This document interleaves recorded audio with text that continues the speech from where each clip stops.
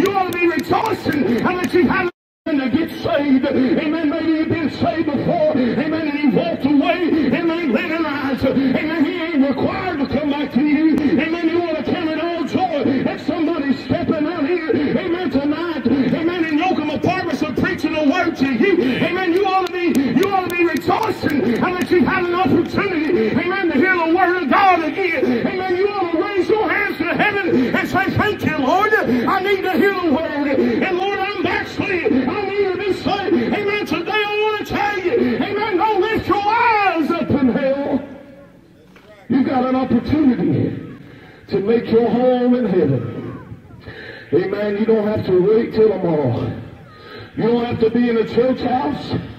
You don't have to be, amen, in front of your pastor. You don't have to be beside a water hole.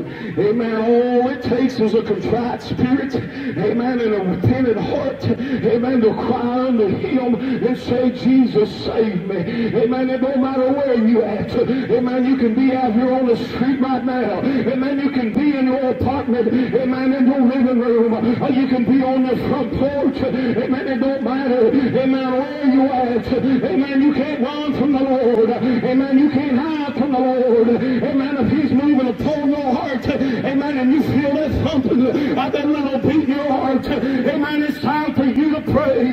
Amen. I want to tell you today, Amen. Don't put off today what you can do right now. Amen. Don't wait till it's too late. Amen. You may, Amen. You may wake up tomorrow. Amen.